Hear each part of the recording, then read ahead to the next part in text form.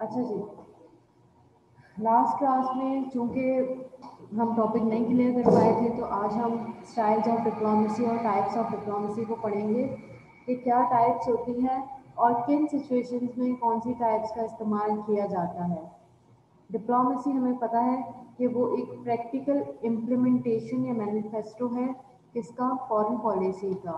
To achieve what national interest हम अपने मुल्क का नेशनल इंटरेस्ट प्रिजर्व करते हैं थ्रू डिप्लोमेसी और भी बहुत से टूल्स होते हैं, लेकिन जो चीफ टूल या प्रैक्टिकलिटी में सबसे मेन या सबसे मेजर टूल होता है, वो इस्तेमाल करने में उसे कहते हैं डिप्लोमेसी अब डिप्लोमेसी के बहुत से टाइप्स होते हैं, बहुत तरीक़ों की होती है। बाज़ात बहुत कम्युनिकेशन या नेगोशिएशन पे बेस करती है, बाजू का वो अग्रेशन पे बेस करती है। कौन सी डिप्लोमेसी किस वक्त इस्तेमाल होगी कौन सी डिप्लोमेसी किस तरीके से इस्तेमाल की जाती है विद एग्जांपल्स हम इसको देखते हैं। जैसे कि हमें पता है कि डिप्लोमेसी एक बहुत ही कॉम्प्लेक्स एक्टिविटी है, जिसमें हम बाजुकात ये कहते हैं कि आपने सिर्फ़ नेगोशिएशन करनी है, जिसमें हम बाज़ात ये कहते हैं कि आपने सिर्फ़ नेगोशिएशन करनी है, और बाज़ात हम कहते हैं कि आपने सिर्फ़ नेगोशिएशन नहीं करनी, बल्कि उनको थ्रेट भी देना है। हमें उनको साइकोलॉजिकल प्रेशर भी देना है और हमें अपनी बात भी मनवानी है। लेकिन वो बात किस तरीके से की जाएगी? नेगोशिएशन के साथ। ना कि हम उनको हथियार दिखाएँगे या फिर हम उनके ऊपर बंदूक तान देंगे कि आप हमारी बात माने। ये डिप्लोमेसी नहीं है। डिप्लोमेसी सिर्फ़ कम्युनिकेशन के लिहाज से होती है। उसका जो मेन आर्ट और उसका जो मेन इम्प्लीमेंट करने का या फ़ंक्शन करने का तरीका होता है, वो कम्युनिकेशन है। आप कितना अच्छा कम्युनिकेट कर रहे हैं, ये आप पे डिपेंड है। एक डिप्लोमेट की जॉब बहुत ही ज़्यादा सेंसिटिव और सीरियस जॉब होती है, क्योंकि उसको अपने स्टेट का नेशनल इंटरेस्ट जब प्रिजर्व करना होता है तो उसको अपना एक एक लफ्ज़ देख देख के इस्तेमाल करना पड़ता है, क्योंकि उसके एक एक लफ्ज़ की बहुत बड़ी वैल्यू है। क्योंकि वो अपने स्टेट को रिप्रेजेंट कर रहा है तो वो बोलता है कि तुम बोल, बताओ क्या चाहिए तुम्हें? मैं करवाऊँगा। वो सोल एक्टर होता है जो ये कहता है और जो डिप्लोमेट में किसी होस्ट कंट्री में या किसी होस्ट स्टेट में जाके कमिट कर दिया, वो उसको हर सूरत में उसके स्टेट को पूरा करना पड़ेगा क्योंकि उसके डिप्लोमेट ने वो कमिटमेंट दी है किसके बिहाफ पे? स्टेट के बिहाफ पे। अच्छा जी, यहाँ पे छह तरीकों के डिप्लोमेसी टाइप्स मैंने लिखी हैं, जिसमें छः यहाँ पे लिखी हुई हैं, लेकिन वो ऑलमोस्ट बारह हो जाती हैं, क्योंकि मैंने वर्सेस करके लिखा है। मैंने यहाँ पर टाइप्स को इस तरीके से डिज़ाइन किया है कि जो एक दूसरे के अपोजिट होती है, जैसे वॉरियर स्टाइल का अपोजिट शॉपकीपर स्टाइल है। जैसे सीक्रेट डिप्लोमेसी का अपोजिट ओपन डिप्लोमेसी है, जैसे डेमोक्रेटिक डिप्लोमेसी का अपोजिट टोटलिटेरियन डिप्लोमेसी है, जैसे समिट और कॉन्फ्रेंस डिप्लोमेसी और nuclear brinkmanship and gunboat diplomacy है। अच्छा जी, ये किस तरीके से चलते हैं किस तरीके से काम करते हैं, ये हम देखते हैं आगे।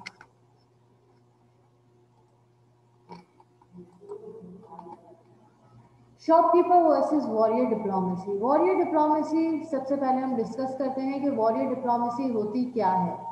वॉरियर स्टाइल डिप्लोमेसी में क्या आता है? अच्छा अगर आपसे ये पूछा जाए कि स्टाइल ऑफ़ डिप्लोमेसी बता दें या टाइप्स ऑफ़ डिप्लोमेसी बता दें या फॉर्म्स ऑफ़ डिप्लोमेसी तो ये सारी चीज़ें सेम ही हैं, ठीक है? उनको स्टाइल भी कहा जाता है, बाजू का टाइप भी कहा जाता है और फॉर्म्स भी कहा जाता है।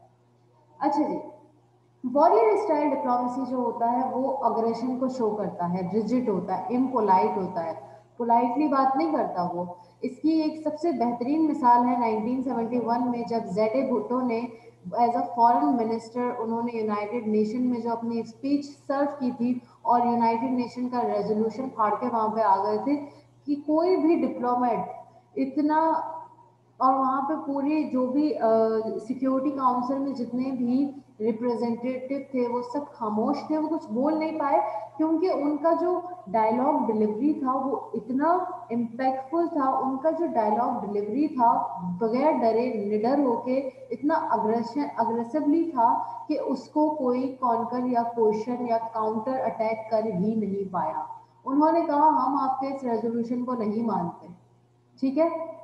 ये स्पीच आप सब लोगों ने देखी होगी, लेकिन अगर नहीं देखी तो जब फंडामेंटल्स ऑफ़ डिप्लोमेसी हम पढ़ेंगे अपनी नेक्स्ट क्लास में, तब उस उस एक स्पीच को लेके हम पूरी फंडामेंटल्स को डिफाइन करेंगे, क्योंकि वो एक बहुत बेहतरीन मिसाल है। आज दिन तक पाकिस्तान में ऐसा दोबारा कोई जेड ए भुट्टो जैसा बना नहीं, या शख्स आया नहीं, जिसने इस तरीके से सिक्योरिटी काउंसिल में बात की हो अपने स्टेट के बिहाफ पे, ठीक है?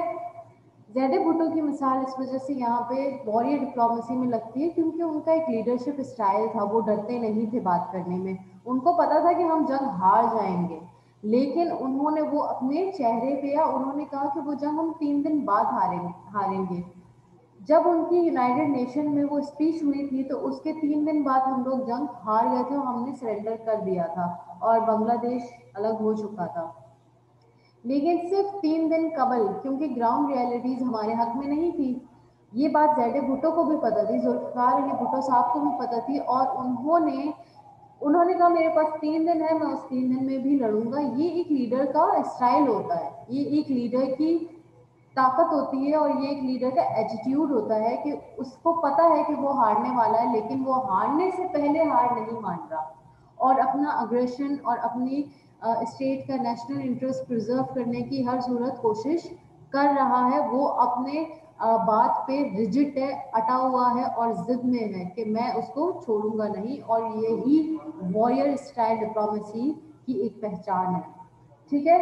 इसके अलावा वॉरियर स्टाइल डिप्लोमेसी करने वाले या यूज़ करने वाले इस स्टाइल को जो भी लीडर्स रहे हैं, वो बहुत पावरफुल होते हैं और वो पावरफुल कंट्रीज़ से होते हैं। ज़्यादातर warrior style diplomacy powerful countries करती हैं वीक कंट्रीज़ नहीं करती, ठीक है? और या फिर ऐसी कंट्रीज़ जिनकी हिस्ट्री में कॉन्फ्लिक्ट रही हो या तनाज़ात उनकी हिस्ट्री का हिस्सा ही हो। जैसे पाकिस्तान, जब से पाकिस्तान बना है, पाकिस्तान कोई इतना पावरफुल कंट्री तो नहीं है। हम अंडर डेवलपिंग कंट्रीज़ में आते हैं, लेकिन हम फिर भी सेंटर ऑफ़ द अट्रैक्शन क्यों है? क्योंकि जितनी जंगें हमने लड़ी हैं, जो हमने कुछ किया है, एक डेवलपिंग कंट्री होने के बावजूद भी वो कोई एक पावरफुल कंट्री भी सस्टेन बाजुकात नहीं कर पाते। हमारी हिस्ट्री में कॉन्फ्लिक्ट और बिटरनेस मौजूद है शुरुआत से लेके अब तक, और हम उसको सस्टेन कर रहे हैं। हमने अभी तक हार नहीं मानी, हम as a nation as a state fail नहीं हुए हैं। ठीक है?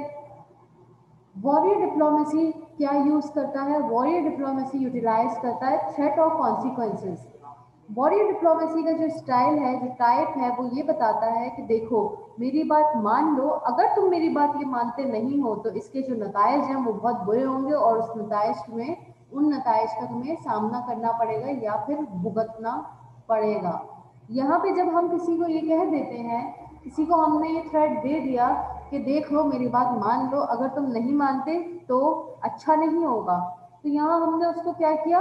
हमने उसको थ्रेड भी दे दिया कि, और फिर हमने उसको कॉन्सिक्वेंसेस भी बता दिए कि ये चीज़ तुम कर लो, नहीं करते तो तुम्हारी खैर नहीं। इन शॉर्ट वर्ड्स में, ठीक है?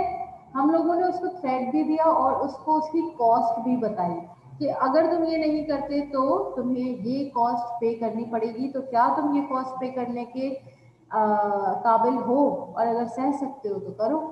ये वॉरियर स्टाइल डिप्लोमेसी की बेसिक खूबियाँ या फिर बेसिक कैरेक्टरिस्टिक्स हैं जिससे पता चलता है कि एक स्टेट कौन सी फॉर्म ऑफ़ डिप्लोमेसी अप्लाई कर रही है।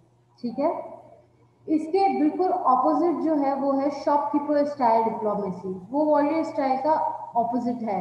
जहाँ पे वॉरियर स्टाइल आपको अग्रेसिव है स्टबर्न है रिजिड है इम्पोलाइट है, वहाँ पे शॉपकीपर डिप्लोमेसी बहुत ओपन माइंडेड है पोलाइट है फ्लेक्सिबल है कॉम्प्रोमाइजिंग इन नेचर है, ठीक है? यहाँ पे हरगिज मतलब ये नहीं है कि जो स्टेट शॉपकीपर डिप्लोमेसी अप्लाई कर रहा है या फिर उसको इम्प्लीमेंट कर रहा है प्रैक्टिकली तो वो झुक रहा है दूसरे स्टेट के सामने। हरगिज उसका मतलब ये नहीं है इसका मतलब ये है कि वो अपनी नेगोशिएशन और बातों में इतना फंसा के अपनी चीज़ों को हासिल कर रहा है। वो दिखा भी रहा है कि मैं बहुत पोलाइट हूँ और मैं बहुत फ्लेक्सिबल हूँ और कॉम्प्रोमाइजिंग इन नेचर हूँ। आज जब दुकान में जाते हैं तो दुकानदार को अक्सर आपने देखा होगा कि उनका नेचर क्या होता है। वो आपकी तरफ़ किस तरीके से रागब होते हैं। वो यही कहते हैं कि ये आप ले लेंगे आप पे बहुत अच्छा लगेगा सूट करेगा। हमें कुछ भी चीज़ किसी शॉपकीपर को बेचनी होती है तो वो हमारी, हमें क्वालिटीज़ गिनाना स्टार्ट कर देता है। इसी तरीके से, और हम उसकी बातों में आ जाते हैं। जब प्राइसिंग की बात आते हैं तो वो हमें एक लफ्ज़ ज़रूर बोलते हैं, एक सेंटेंस ज़रूर बोलते हैं कि देखें जी, ये है तो इतने का। लेकिन हम कस्टमर बनाने के लिए, आपको इतने में देने के लिए तैयार है। कॉम्प्रोमाइज़ और फ्लेक्सिबिलिटी का मुजाहरा करते हैं और दिखाते हैं कि हमने आपके लिए कॉम्प्रोमाइज़ किया है और आपके लिए ये फ्लेक्सिबिलिटी की है। इसी तरह डिप्लोमेसी में भी जो डिप्लोमेट होता है, वो यही दिखाता है, जो सामने वाली पार्टी होती है, जो सामने वाला स्टेट होता है, उसको यही दिखाता है कि हम कॉम्प्रोमाइज इन नेचर हैं। हम सिर्फ़ आपका फ़ायदा या हम सिर्फ़ अपना फ़ायदा नहीं चाहते, बल्कि हमारे फ़ायदे में आपका फ़ायदा भी छुपा है और आपके नुकसान से हमें भी कोई फ़ायदा नहीं होगा, हमें भी उल्टा नुकसान ही होगा। जब हम ये नेचर इख्तियार करते हैं और ये बात इस निगोसिएशन और इस किस्म के डायलॉग्स को इख्तियार करते हैं तो अगला बंदा कन्वेंस हो जाता है कि ये मेरे भी भले की बात कर रहा है, ये मुझे मैनिपुलेट नहीं कर रहा और यही सबसे बड़ा एडवांटेज है शॉपकीपर डिप्लोमेसी का। इसकी एक बेहतरीन मिसाल मैं आपको दे सकती हूँ कि नाइनटीन एटीज़ में जब पाकिस्तान एक हिडन वॉर लड़ रहा था ऑलरेडी अफ़गानिस्तान में तो इंडिया में तब जो लीडर थे वो थे राजीव गांधी, और पाकिस्तान में ज़ियाउल हक साहब यहाँ पे प्रेसिडेंट फॉर्म थे। ठीक है? जब 1918 में हम एक ऑलरेडी हिडन वॉर लड़ रहे थे, उस वक्त इंडिया ने बॉर्डर्स पे अपनी फोर्सेस को तैनात करना स्टार्ट कर दिया था। जब ये बात जयाल हक साहब को पता चली तो उन्होंने ये बात सोची और समझी, क्योंकि पाकिस्तान ऑलरेडी एक वॉर एक जंग लड़ रहा था तो एट अ टाइम वो दो वॉर्स का सामना नहीं कर सकता था, या कोई भी स्टेट दो वॉर्स को इस तरीके से सस्टेन नहीं कर सकता। तो राजीव गांधी को जियाउल हक साहब ने बहुत सी कॉल्स मिलाई ताकि वो बातचीत कर सके निगोसिएशन कर सके। लेकिन उन्होंने बात करने से मना कर दिया और उन्होंने फ़ोन ही नहीं उठाया। उन्होंने डायलॉग्स और नेगोशिएशन या कम्युनिकेशन के वे को मना कर दिया। अब हमें तो पता था कि हम एक हिडन वॉर लड़ रहे हैं। यूएसएस यूएसएसआर के खिलाफ सोवियत यूनियन के खिलाफ तो हम एक और जंग नहीं अफोर्ड कर सकते। तो जियाउल हक साहब ने क्या किया कि उन्होंने अपना प्रेसिडेंशियल प्लेन जो है वो तैयार करवाया और इंडिया जाने की तैयारी कर ली। क्योंकि वो बातचीत में हमारे आ नहीं रहे थे, हमारे कांटेक्ट में नहीं आ पा रहे थे। तो उन्होंने जब बातचीत करने की स्टार्ट की और बातचीत करने के लिए उन्होंने वहाँ पे जाने का सोच लिया और जब वो वहाँ पे लैंड करने वाले थे तो ज़ाहिर सी बात है इंडिया के एयर स्पेस में एक पाकिस्तानी जहाज़ आ रहा है, उनको पता चल गया और वो भी प्रेसिडेंशियल प्लेन आ रहा है। अब उनके पास दो ही रास्ते थे। या तो वो उस जहाज़ को ब्लास्ट कर दे, वहीं पे ही मार के, या उसको लैंड होने दें। चूँकि इंटरनेशनल कम्युनिटी में भी उनको मुँह दिखाना है और ये जवाब देना पड़ेगा और उनकी इमेज का सवाल है तो वो किसी प्रेसिडेंशियल प्लेन को बिला वजह ब्लास्ट नहीं कर सकते। इसलिए उन्होंने उस प्लेन को लैंड होने दिया। फिर जब जिया साहब वहाँ पे पहुँचे, अब वो लाजमी बात है, एक स्टेट के लीडर हैं तो उनको वो सारे प्रोटोकॉल्स फरहम किए गए। और उस वक्त राजीव गांधी एक स्टेडियम में इंडिया के एक स्टेडियम में मैच देख रहे थे। वहाँ पे कोई मैच की सेरेमनी चल रही थी और वो क्रिकेट मैच देख रहे थे। वहाँ पे जिया साहब पहुँचे और जैसे ही राजीव गांधी को देखा, वो भी उठ के आए।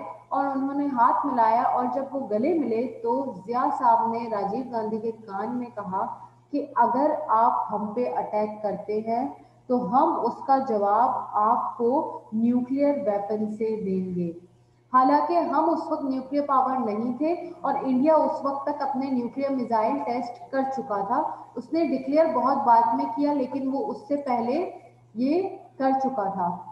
टेस्ट कर चुका था और वो एक न्यूक्लियर पावर बन चुका था। तो हमें ये बात पता थी, इसलिए भी हम इंडिया के साथ कोई भी जंग अफोर्ड नहीं कर सकते थे। लेकिन ये बात उनको तो नहीं पता थी कि हम हम न्यूक्लियर वेपन हम लोगों ने अभी तक बनाया नहीं बनाया नहीं, या फिर हम न्यूक्लियर पावर अभी तक बने नहीं हैं। लेकिन उन्होंने जब जिया साहब ने उनके कान में कहा कि हम न्यूक्लियर वेपन के थ्रू जवाब देंगे तो उनके माथे पे पसीना आ गया। और वो जंग होने से रुक गई, सिर्फ़ उनकी बातचीत और उनकी जहानत के ज़ोर पे, ठीक है? ये एक शॉपकीपर स्टाइल था, इसमें उन्होंने कोई वायलेंस एग्रेशन नहीं दिखाया। बहुत प्यार से गए, बहुत तहमुल से गए और उन्होंने उनके कान में जाके ये बात विस्पर की। बहुत से आर्टिकल्स इस पर लिखे गए थे, जिसमें जो राइटर्स थे स्कॉलरली राइटर्स उन्होंने ये लिखा। ये लाइन लिखे कि उनके चेहरे की हवाइयाँ उड़ गई थी राजीव गांधी की और उनके माथे पे बहुत पसीना आ रहा था। ये बात सुनने के बाद, ठीक है?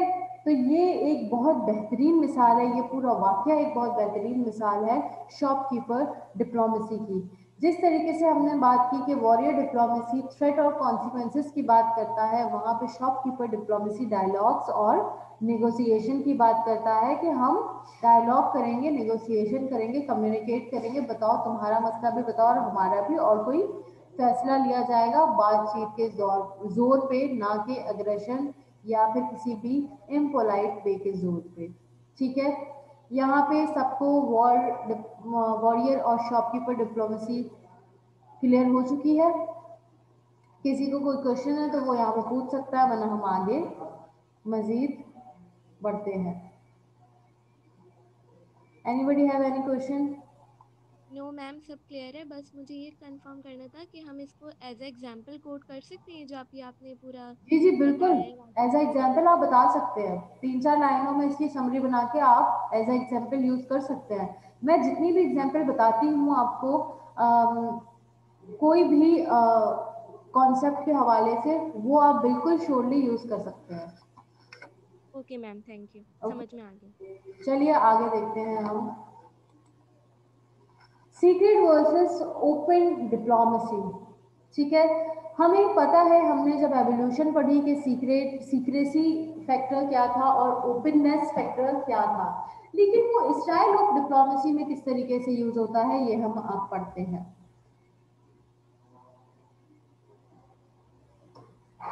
अच्छा जी।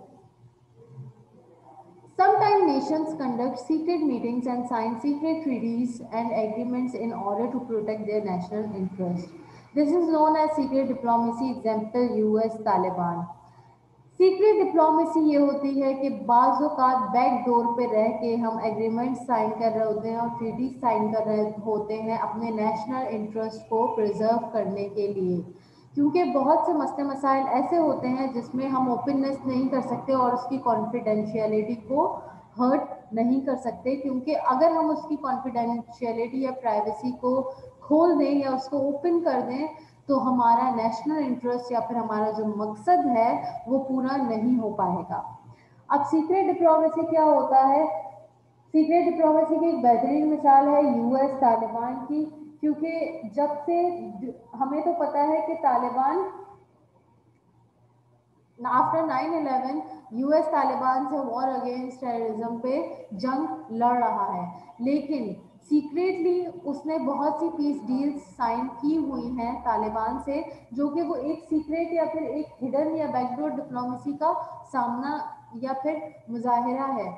क्योंकि अब आप देख रहे हैं कि अब वो खुले आम इस बात को मान रहे हैं कि वो पीस डील या पीस टॉक करना चाह रहे हैं, तालिबान से बातचीत करना चाह रहे हैं और इस वायलेंस को ख़त्म करना चाह रहे हैं, लेकिन ये सिर्फ़ आज से नहीं हो रहा, ये अब जाके ओपन हुआ है, पर बैकडोर ये होता चला आ रहा है।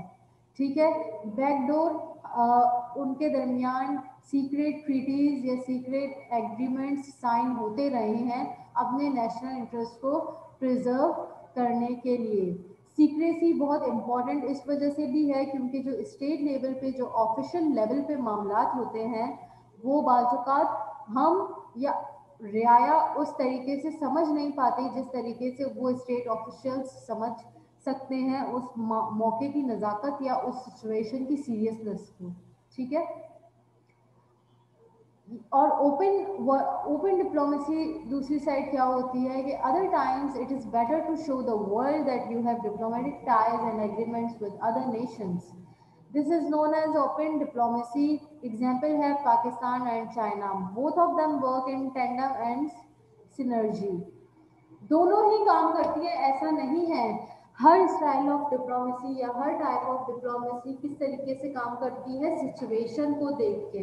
हमारी सिचुएशन हमें बताती है, हमारी रियलिटीज़ हमारी ग्राउंड रियलिटीज़ हमें बताती है कि हमें किस किस्म की यहाँ पे डिप्लोमेसी या कौन सा style of type of diplomacy use करने की ज़रूरत है।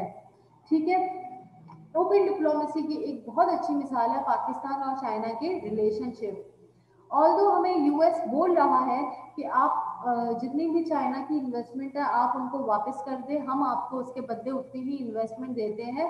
वो इस वजह से बोल रहा है क्योंकि ये किसका नेशनल इंटरेस्ट है? ये उनके नेशनल इंटरेस्ट में बहुत अच्छा है यूएस के, कि चाइना नीचे जाए। चाइना पावरफुल ना बने। ये किसके हक में बेहतर है? इंडिया यूएस के। लेकिन हमें पता है कि यूएस और इंडिया के टाइज कितने अच्छे हैं और उनके जो रिलेशंस हैं वो हमारे लिए उतने हेल्दी या फिर हमारे लिए उतने बेनिफिशियल साबित नहीं हो रहे और हमने बोला कि नहीं भाई हम चाइना के साथ ही अपने रिलेशनशिप को आ, आगे बढ़ाएँगे और इसी को कायम रखेंगे। हम उनकी इन्वेस्टमेंट ना तो उन्हें वापस करेंगे और ना ही हम अपने रिलेशनशिप उनसे कट ऑफ़ करेंगे आपके कहने पे। ये पाकिस्तान ने ओपन डिप्लोमेसी का मुजाहरा किया कि भाई, जो भी कर लो हम चाइना के साथ हैं, या चाइना हमारे साथ है, और जो हमारे दरमियान एग्रीमेंट्स हैं, जो हमारे दरमियान ट्रीटीज़ हैं, उनको हम नहीं तोड़ेंगे क्योंकि वो हमारे नेशनल इंटरेस्ट के मफाद में है या हमारे नेशनल इंटरेस्ट को प्रिजर्व कर रहा है। और जो दूसरी सिचुएशन हमारे पास है, उसमें वो उस तरीके से काम नहीं आ पा रहा। ठीक है? यहाँ पे किसी को कोई प्रॉब्लम है, अगर इसमें तो पूछ ले। ये बहुत ही सिंपल है, क्योंकि ओपन वर्सेस सीक्रेट हमने वैसे ही बहुत डिस्कस किया मॉडर्न और ओल्ड डिप्लोमेसी की एवोल्यूशन में। तो मेरे ख्याल से किसी को कोई क्वेश्चन यहाँ पे होना तो नहीं चाहिए, मगर अगर कोई क्वेश्चन है तो आप लोग पूछ सकते हैं। Anybody have any question? No, miss. Okay.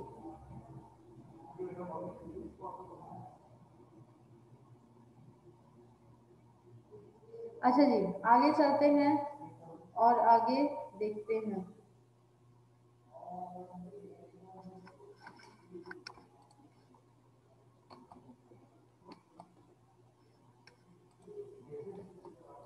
Democratic diplomacy democratic diplomacy नाम से ही आप समझ सकते हैं कि डेमोक्रेसी क्या होती है। डेमोक्रेसी हमें ये बताता है कि participation of people in the politics of the state public opinion बहुत इंपॉर्टेंट होता है। डेमोक्रेसी पब्लिक ओपिनियन और रियाया के व्यूज़ को रियाया की पर्सपेक्टिव um, को बहुत ज़्यादा अहमियत फरहम करता है। ठीक है? This is the most contemporary style of diplomacy and governments no longer depend on aristocrats and diplomats solely. यहाँ पे जो डिप्लोमेसी का ये सबसे ज़्यादा मॉडर्न फॉर्म ऑफ़ गवर्नमेंट है और सबसे ज़्यादा मॉडर्न फॉर्म ऑफ़ डिप्लोमेसी है कंटेम्प्रेरी ग्लोबल पीरियड में और अभी कोई भी ऐसा मुल्क या गवर्नमेंट या स्टाइल नहीं है जो कि सिर्फ़ और सिर्फ़ डिप्लोमेट्स पे या स्टेट ऑफिशियल्स पे ही आ, मबनी हो या उसी पे ही वो बेस करें। बल्कि उनके लिए और भी मज़ीद स्टाइल्स हैं वेज हैं पब्लिक ओपिनियन है कल्चर प्रोग्राम्स है जिसके थ्रू प्राइवेट सिटीज़न जो हम लोगों ने पढ़ा था ट्रैक्स ऑफ़ डिप्लोमेसी कि हमारे पास पर्सनल हम अपने पर्सनल इन्वॉल्वमेंट के ज़रिए भी डिप्लोमेसी चला सकते हैं और हम एक डिप्लोमेट ना होके सिर्फ़ एक सिटीज़न होके भी अपना फ़र्ज़ अदा कर सकते हैं अपना स्टेट का नेशनल इंटरेस्ट प्रिजर्व करने में। ठीक है? A major shortcoming of this is that oftentimes people do not understand complex foreign relationship. अच्छा जी, इसकी एक बेहतरीन मिसाल यहाँ पे लिखी हुई है Pakistan acceptance of Israel Pakistan की जो रियाया है, वही नहीं चाहती कि पाकिस्तान इसराइल को एक्सेप्ट करे, क्योंकि वो फ़लस्तीनियों के उनको, उनके हक प्रोवाइड नहीं कर रहा। लेकिन यहाँ पे एक सबसे बड़ी बात ये आती है, क्योंकि रियाया इतनी अवेयर नहीं है, क्योंकि हमारा जो लिटरेसी रेट है वो इतना ज़्यादा और इतना बेहतर नहीं है कि जो कम्प्लेक्स और जो बहुत ज़्यादा सीरियस इश्यूज़ हो, उनको आम आवाम समझ पाए, ठीक है? और उन फॉरेन रिलेशंस को और उन फॉरेन इश्यूज़ को बढ़ाने के लिए और सुलझाने के लिए क्या करना पड़ता है?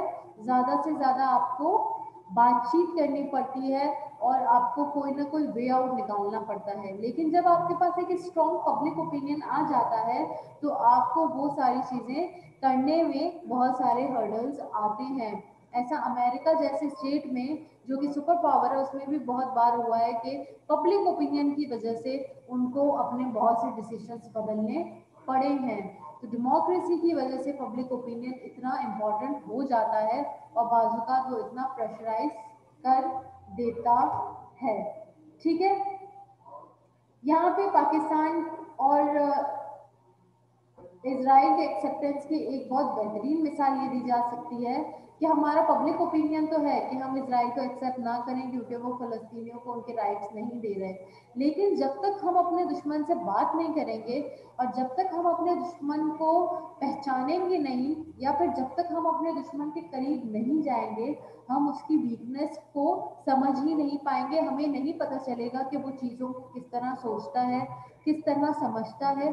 और जब तक आप अपने एनिमी की, आप अपने दुश्मन की साइकी को, या साइकोलॉजिकल कंडीशंस को समझ नहीं पा रहे, आप कभी भी उसको कॉन्कर नहीं कर सकते, आप कभी भी उसको हरा नहीं सकते।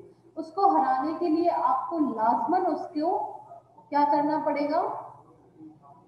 उसको हराने के लिए आपको लाजमी लाजमी तौर पे उसको समझना पड़ेगा, उसको बेहतर तरीके से जानना पड़ेगा। और तभी आप अपने जो भी गोल्स हैं उनको अचीव कर सकते हैं। हम अगर ये कह दें कि क्योंकि वो उनके हक नहीं दे रहे और हम उनसे इस वजह से उनको एक्सेप्ट नहीं कर रहे तो ये एक हमारा शायद डिसएडवांटेज है क्योंकि हम अपना गोल पूरा नहीं कर सकते। क्योंकि हमें नहीं पता कि वो किस तरीके से सोचते हैं, वो किस तरीके से समझते हैं और वो किस तरीके से अपनी पॉलिसीज़ को चलाते हैं। Public opinion spoiled diplomatic negotiation और डिले बाज़ पब्लिक ओपिनियन की वजह से बहुत से ऐसे इश्यूज़ होते हैं जिस पे डिप्लोमेटिक नेगोशिएशंस जो होती हैं, या तो स्पॉइल हो जाती है, ख़राब हो जाती हैं, हो ही नहीं पाती, या फिर बहुत डिले और पोस्टपोन हो जाती हैं। ठीक है? यहाँ तक किसी को कोई भी इशू है तो पूछ सकता है। मैं आप लोगों से एक एक पे इसीलिए पूछ रही हूँ ताकि अगर किसी को कोई भी जरा सी कंफ्यूजन हो तो वो मुझसे पूछ ले।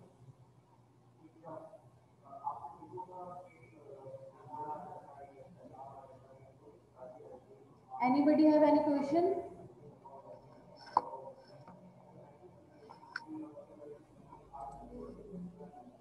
Unaiza Anusha no miss नहीं समझ आ रहा है? क्लियर है?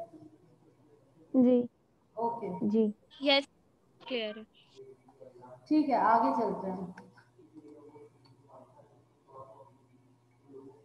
टोटलिटेरियन डिप्लोमेसी टोटलिटेरियन डिप्लोमेसी बिल्कुल ही अपोजिट है किसके? डेमोक्रेटिक डिप्लोमेसी को। इसमें क्या होता है? एरिस्टोक्रेटिक रिजीम्स होते हैं। एम्पायर्स वन मैन शो होता है। डिक्टेटरशिप होता है। डिक्टेटोरियल निज़ाम होता है। और ये काइंड ऑफ़ डिप्लोमेसी कब प्रैक्टिस होती थी अम्पायर्स के ज़माने में ओल्ड पीरियड में। मॉडर्न स्टेट सिस्टम बनने से पहले। ठीक है? यहाँ पे टोटलिटेरियन डिप्लोमेसी में पब्लिक ओपिनियन कोई मैटर नहीं करता, कोई तरजीह हासिल नहीं है उसको। ठीक है? पुराने ज़माने में जो अम्पायर्स होते थे, उसमें दूत होते थे। डिप्लोमेट्स को दूत भी कहा जाता था और उनको एज अ मैसेंजर भेजा जाता था। होस्ट होस्ट एम्पायर में या जो भी एम्पायर के साथ उनके बायोलेटरल मसले मसाइल चल रहे होते थे तो वो भेजते थे और वो अपने मैसेजेस वहाँ पे भेजते थे, वो उनके हाथ अपने मैसेजेस वहाँ से भेजते थे। यहाँ पे डिप्लोमेसी जो डिप्लोमेट्स होते थे, उनकी एक तो लाइफ की जो सिक्योरिटी थी सिक्योरिटी ऑफ़ लाइफ पे बहुत थ्रेट होता था कि वो वापस भेज भी रहे हैं, वहाँ पे मार देंगे। और दूसरा जो टेक्निक ऑफ़ नेगोशिएशन यहाँ पे यूज़ होती थी, वो पॉलिटिकल होती थी, सियासी होती थी साइकोलॉजिकल होती थी मिलिट्रिकल होती थी। वो बोलते थे सीधा सीधा कि आप हमारी बात मान रहे हैं, या तो आप हमारी बात माने, या तो हमसे जंग लड़े। उनकी और कोई बात नहीं होती थी। या तो आप हमारा मैसेज मान लें, या तो जो हम आपको डील बता रहे हैं, आप हमसे वो कर लें, या तो आप फिर हमारे साथ जंग लड़ें, क्योंकि इसके अलावा उनके पास और कोई चारा ही नहीं बचता था या फिर वो और कोई ऑप्शन बताते ही नहीं थे। ये एक बहुत ही पुराना स्टाइल था जो कि सिर्फ़ एम्पायर्स में और डिक्टोरियल फॉर्म ऑफ़ गवर्नमेंट में यूज़ होता था, जहाँ पे सिर्फ़ एक एम्पायर या फिर एक जो किंग होता था और सिर्फ़ उसी की चलती थी। इसमें सीक्रेसी भी बहुत होती थी, क्योंकि इसमें सीक्रेसी इसलिए बहुत होती थी क्योंकि पब्लिक ओपिनियन कोई मैटर ही नहीं करता था। पब्लिक ओपिनियन एग्जिस्ट ही नहीं करता था उनके लिए। उनके लिए जो उनके जो उनका फैसला होगा वही सही है और वही बहुत ज़्यादा मैटरफुल है या फिर वही उनके लिए अहम है। यहाँ पे टोटलिटेरियन डिप्लोमेसी एंड होती है। समिट एंड कॉन्फ्रेंस डिप्लोमेसी ये कहना था कि ये सिर्फ़ ये तो अभी ओल्ड डिप्लोमेसी में होता होगा ये मॉडर्न डिप्लोमेसी में। अब ये ओल्ड डिप्लोमेसी का फॉर्म है। अब बहुत कम ऐसी गवर्नमेंट्स है जो टोटलिटेरियन को यूज़ करती है। अदरवाइज़ वो सारी ही क्योंकि दुनिया में अब जितनी भी स्टेट्स हैं ऑलमोस्ट सारी स्टेट्स इक्का दुक्का स्टेट को छोड़ के वो डेमोक्रेटिक हो चुकी हैं। तो डेमोक्रेसी में तो आपने पब्लिक ओपिनियन को भी तरजीह देनी है, आपने ओपननेस भी रखनी है, आपने मीडिया को भी तरजीह देनी है। हर चीज़ को आपने देख के चलना है। उससे बहुत सारे इश्यूज़ ख़राब भी होते हैं, लेकिन बाजू का उससे बहुत सारे इश्यूज़ सही भी हो जाते हैं। टोटेलिटेरियन में ये होता था कि उस वक्त के उस ज़माने में ये बहुत ज़्यादा चलता था, अब ये इतनी इम्प्लीमेंट नहीं होती। और जो चूँकि ये इतनी इम्प्लीमेंट नहीं होती और आवाम को रियाया को कुछ पता ही नहीं है कि सियासी सतह पे हो क्या रहा है या उनकी उनका किंग उनके लिए क्या कर रहा है अच्छा कर रहा है बुरा कर रहा है किसी की इन्वॉल्वमेंट ही नहीं होती थी तो बहुत ज़्यादा मैनिपुलेशन होती थी। ठीक है क्लियर है? यस मैम मैम जी? अगर हमारे पास क्वेश्चन आता है एग्ज़ाम में कि आप जो है वो टाइप्स या फॉर्म्स या फिर स्टाइल डिफाइन करें डिप्लोमेसी के तो सबसे पहले हम स्टार्ट जो है वो मॉडर्न और ओल्ड डिप्लोमेसी से लेंगे। उसके बाद हम इसको कंटिन्यू करेंगे ना इन नहीं ज़रूरी नहीं है। आप सिर्फ़ इतना डिस्क्राइब कर दें कि टाइप्स ऑफ़ डिप्लोम डिप्लोमेसी क्यों ज़रूरी होती है। आपको मैंने बता दिया फॉरेन पॉलिसी का जो प्रैक्टिकल मैनिफेस्टो है वो डिप्लोमेसी होता है ठीक है? क्यों होता है? क्योंकि नेशनल इंटरेस्ट को प्रिजर्व करना होता है। सही है? ये बात मैंने आपको बता दी आपको पता है आपने उसमें एक पैराग्राफ इंट्रोडक्शन करके लिख दिया। उसके बाद आप अपनी लिस्ट ऑन कर दें कि आपको कौन कौन सी types of form of diplomacy आप बताना चाहती हैं। उसके बाद आप उनके हेडिंग डाल दिए जाएँ। विद एग्जाम्पल्स उसको डिस्क्राइब कर दें। Okay ma'am thank you so much ठीक है? अच्छा जी summit and conference diplomacy same बात है। समिट का मतलब यही होता है कि स्टेट ऑफिशियल्स एक साथ बैठते हैं और कॉन्फ्रेंसेस पे डिस्कशन um, के बाद किसी भी पॉलिटिकल और इकोनॉमिक या सोशल सेक्टर में अपना कोई भी फैसला लेते हैं या ट्रीटी साइन करते हैं या कोई एग्रीमेंट अमल में लाते हैं उसको समिट या कॉन्फ्रेंस डिप्लोमेसी कहा जाता है।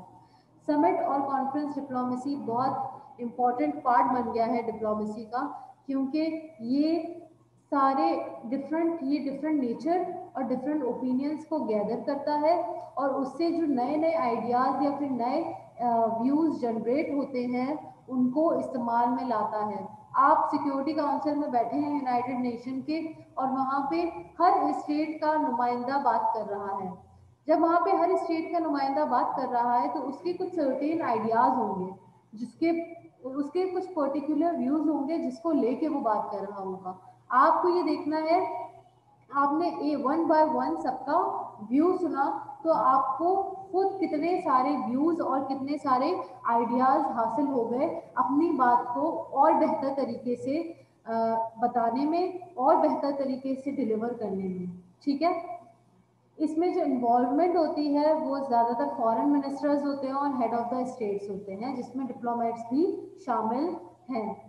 फॉरेन मिनिस्टर्स के साथ एम्बेसडर्स भी आते हैं, लेकिन ज़्यादातर फॉरेन मिनिस्टर्स होते हैं और हेड ऑफ़ द स्टेट जो भी आपका प्राइम मिनिस्टर प्रेसिडेंट जो भी है। इसकी एक बेहतरीन मिसाल इस्लामिक समिट है। जब जेड भुट्टो साहब का दौर था, उस वक्त उन्होंने बहुत कोशिश की थी कि वो एक इस्लामिक समिट बना सकें, जिसमें सारी मुस्लिम कंट्रीज़ हैं, वो इन्वॉल्व हो और एक पेज पे उनको ला सके और बातचीत कर सके और मसले मसाइल हल कर सके। ये जितनी भी आज के दौर में आप देख रहे हैं, जो इस्लामिक स्टेट एक दूसरे से इतनी कट ऑफ़ हो गई है, वो इस चीज़ को ख़त्म करना चाहते थे। और वो चाहते थे कि जब पूरी मुस्लिम उम्मा एक पेज पे होगी और एक प्लेटफॉर्म पे गैदर होगी तो जो इश्यूज़ हैं या जो कॉन्फ्लिक्ट्स हैं, उनको रिजॉल्व करना या फिर उनके लिए अच्छे सॉल्यूशंस निकालना ज़्यादा आसान है।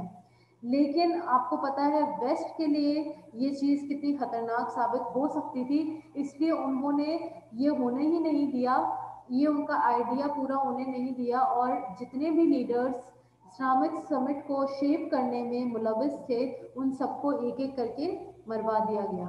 एक एक करके सबको किसी न किसी चीज़ में फंसा के उनको एट दी एंड कत्ल करवा दिया गया या असासिनेट करा दिया गया या डेथ सेंटेंस मिल गया उनको। ठीक है? लेकिन अगर वो इस्लामिक समिट जो उनका मकसद था, वो पूरा हो जाता तो जो आज के दौर में मुस्लिम कम्युनिटी की या मुस्लिम उम्मा की जो वीक पोजीशन है, वो बहुत स्ट्रॉन्ग होती। ठीक है? ये इसकी एक बहुत बेहतरीन मिसाल है। दूसरी मिसाल हम ये भी दे सकते हैं कि एनुअल यूनाइटेड नेशन की जो जनरल असेंबली कॉन्फ्रेंस होती है, उसमें हर स्टेट का, दुनिया से हर कोने का एक बंदा आता है और अपने स्टेट की नुमाइंदगी करता है, उसको रिप्रेजेंट करता है और उससे आपको बहुत सारे मसले, मसाइल और उससे आपको बहुत सारी चीज़ों पे different views different solutions different ideas different support मिलता है, जिससे आप अपने मसले, मसाइलों को हल कर सकें। यहाँ पे बात हो गई कि यूनाइटेड नेशन की जनरल असेंबली की जो कॉन्फ्रेंसेस होती हैं, वो है इंटरनेशनल रीजनल लेवल पे भी अब ऐसी बहुत सारी ऑर्गेनाइजेशन बन गई है, जैसे आसियान है शंघाई कॉरपोरेशन है, या फिर सार्क है, जो कि रीजनल लेवल पे काम करती है और रीजनल लेवल पे स्टेट्स को जोड़ती है। और उनके जो भी मसले मसाइल हैं, वो रीजनल लेवल पे हल करने की कोशिश की जाती है।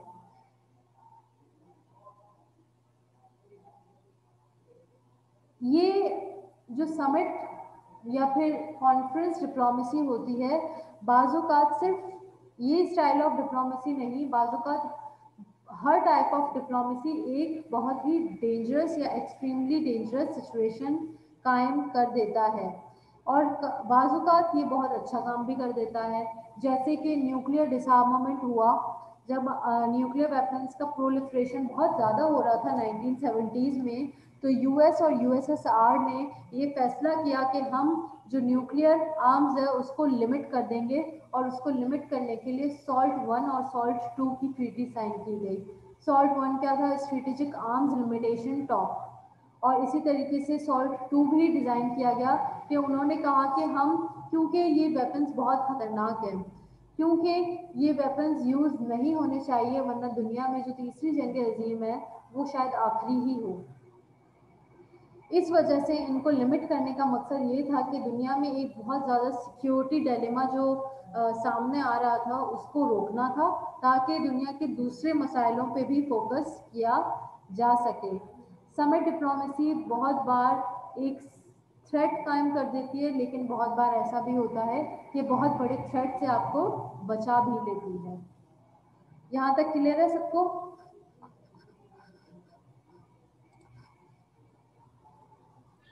यस मैम ओके चलिए जी। हमारी लास्ट टाइप या फिर लास्ट फॉर्म ऑफ़ डिप्लोमेसी है। अगर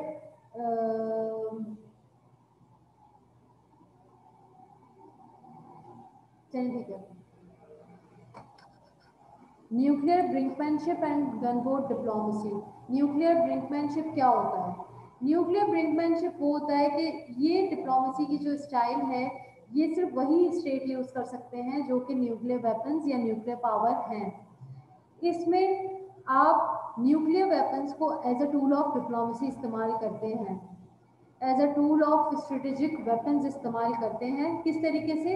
अब ये लाजमी बात नहीं है कि न्यूक्लियर ब्रिंकमैनशिप का मतलब कि आपने अपना न्यूक्लियर वेपन ही इस्तेमाल कर लिया। ऐसा पॉसिबल नहीं है। आप थ्रेट देते हैं न्यूक्लियर वेपन इस्तेमाल करने का। आप ये थ्रेट देते हैं कि अगर आप हमारी इस बात को नहीं मान रहे या अगर आप हमारी इस चीज़ से आ, हामी नहीं भर रहे या एक्सेप्ट नहीं कर रहे तो हम आपके खिलाफ न्यूक्लियर वेपन्स भी यूज़ कर सकते हैं और इसकी बेहतरीन मिसाल है इंडिया पाकिस्तान।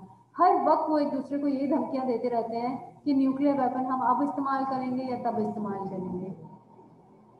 ठीक है? वो वहाँ से धमकी देते हैं कि हम इस्तेमाल करेंगे और हम यहाँ से कहते हैं कि अगर आप इस्तेमाल करेंगे तो हम भी रिटेलिएशन में आपका ज़्यादा नुकसान ना कर सके। भुट्टो ने जब अपनी स्पीच की थी तो उस वक्त उन्होंने ये बात कही थी कि हम शायद इंडिया का ज़्यादा नुकसान ना कर सकें, लेकिन हम इतना नुकसान कर देंगे कि वो खुद अपने आप टूट जाएगा। जिस तरीके से उसने पाकिस्तान को नुकसान पहुँचाया है, हम उसको स्लो पॉइजनिंग के तहत बहुत नुकसान पहुँचा सकते हैं, ठीक है? इसी तरीके से न्यूक्लियर ब्रिंकमैनशिप डिप्लोमेसी यूज़ होती है। इसमें से थ्रेट ऑफ़ वेपन्स होता है, ठीक है? इसके अलावा नॉर्थ कोरिया और यूएस इसकी एक बहुत बड़ी और बहुत अच्छी मिसाल है। जब भी यूएस कोई सेंक्शंस की बात करता है नॉर्थ कोरिया पे तो नॉर्थ कोरिया भी वहाँ से अपना कोई ना कोई एक मिज़ाइल लॉन्च कर देता है या फिर कोई ना कोई न्यूक्लियर वेपन की टेस्टमेंट्स कर देता है, जिससे वो वापस टेबल टॉप के ऊपर आ जाता है कि भाई बातचीत के ज़रिए मसले को हल करते हैं, ना कि न्यूक्लियर वेपन की तरफ़ जाते हैं। क्यूबन मिसाइल क्राइसिस भी इसका एक बेहतरीन एग्ज़ाम्पल है। ठीक है? गन बोट डिप्लोमेसी क्या होता है? गन बोट डिप्लोमेसी यूज़ होती है ब्लू वाटर नेवीज़ का। Blue water navies maritime की सबसे इंपॉर्टेंट सबसे स्ट्रॉन्ग नेवीज़ होती हैं, जो कि हर कंट्री के पास नहीं है। जो ब्लू वाटर नेवीज़ होती हैं, वो समुद्र की बहुत गहराई में या फिर डीप ओशंस जो होते हैं या हाई सीज लेवल्स होते हैं, उसमें लड़ने की ताकत रखती है। हमारी जो आम नेवीज़ होती हैं, उनकी कुछ लिमिटेशंस होती हैं और उनकी कुछ कैपेबिलिटीज़ होती हैं, वो उससे ज़्यादा आगे नहीं जा सकती या वो अपने होम कंट्री से बिल्कुल अलग होके नहीं लड़ सकती, बहुत ज़्यादा सतही लेवल पे जाती ठीक है, समंदर की। लेकिन जो ब्लू वाटर नेवीज़ होती हैं, वो अपने होम कंट्री से बहुत ज़्यादा दूर होके भी या फिर जो हमारा एनिमी कंट्री है, उसके सी लेवल में डीप डाउन घुस के भी उस पर हमला कर सकती है। आज के दौर में यूएस के पास ब्लू वाटर नेवीज़ है रशिया के पास है चाइना के पास है इंडिया